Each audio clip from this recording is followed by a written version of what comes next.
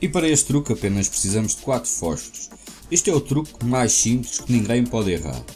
Uh, o desafio consiste em, apenas com estes 4 fósforos, mexendo um fósforo fazer um quadrado perfeito. Depois de deixarem os vossos amigos pensar algum tempo, pensarem algum tempo, vocês revelam a solução.